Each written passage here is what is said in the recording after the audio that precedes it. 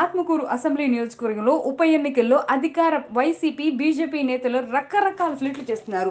ఉప ఎన్నికల కోసం సీఎం జగన్ పలు రాష్ట్ర మంత్రులను గుంపులు గుంపుగా ఆత్మకూరు దింపేశారు. బీజేపీ కూడా తానేది తక్కువ కాదని వారానికి మూడు సార్లు సోమరాజు వీర్రాజును ప్రచారానికి పంపుతుంది. ఈ రెండు పార్టీలు హడావిడి చూస్తే జనం ముక్కును వేలేసుకుంటున్నారు. మంత్రి మేకపాటి గౌతమ్ రెడ్డి ఆకస్మిక మరణం తర్వాత ఆత్మకూరు నియోజకవర్గంలో ఉప ఎన్నికలు అనిర్వారమైంది మేకపాటి కుటుంబం నుంచి వైసీపీ అభ్యర్థిగా గౌతమ్ రెడ్డి సోదరుడు విక్రమరెడ్డి బరిలో ఉన్నారు.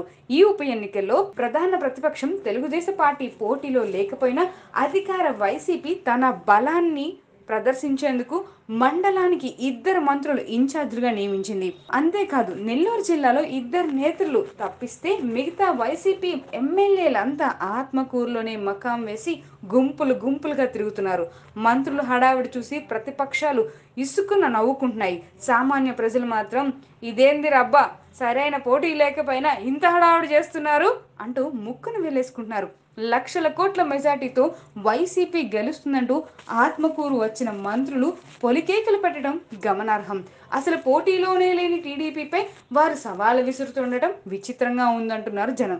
అయితే ఉప ఎన్నికల్లో ఎలాగో మరణించిన సిట్టింగ్ ఎమ్మెల్యే కుటుంబంపై సింపతి ఉంటుంది. పైగా అధికార పార్టీకి గెలుపు అవకాశాలు ఎక్కువ ఉంటాయి. అయినప్పటికీ మంత్రుడు ఇలా పొలికేకలు పెట్టడం ఏంటనే ప్రశ్నలు సర్వత్రా వస్తున్నాయి. ఇదంతా చూస్తుంటే అధికార పార్టీ బలుపు అని స్థానిక జనం వ్యాఖ్యానిస్తున్నారు. మరొక పక్క వైసీపీ బ్యాచ్ చేస్తున్న వింతలన్నీ విసుగిపోతున్న జనం భారతీయ జనతా పార్టీ నేతలు చేస్తున్న హడావిడి చూసి మరింత అసహనాన్ని వ్యక్తం చేస్తున్నారు. ఆత్మకూరు నియోజకవర్గంలో బీజేపీ తరపున పోటీ చేస్తే దిక్కే లేదు.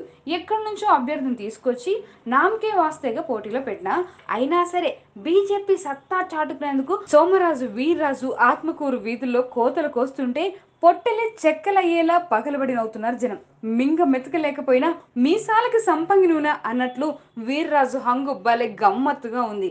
ఆత్మకూరు నియోజకవర్గంలో ప్రజలు బీజేపీ చేసిన డూపు ప్రచారంపై తెగ సెటైర్లు కూడా వేస్తున్నారు మెట్టు ప్రాంత ప్రజలు. ఎవరిపై ఎవరు లక్ష మెజార్టీ ఓట్లు సాధిస్తారు ఎవరిపై ఎవరు సత్తా చాటుతారో అర్థం కాక తల పట్టుకొని విశ్లేషకులు లెక్కలు వేసుకోవడం మరొక కొసమెరుపు ఇలాంటి మరిన్ని వీడియోలు కావాలనుకుంటున్నారా? అయితే సబ్స్క్రైబ్ చేసి పక్కనే ఉన్న బెల్ సింబల్ను క్లిక్ చేయండి.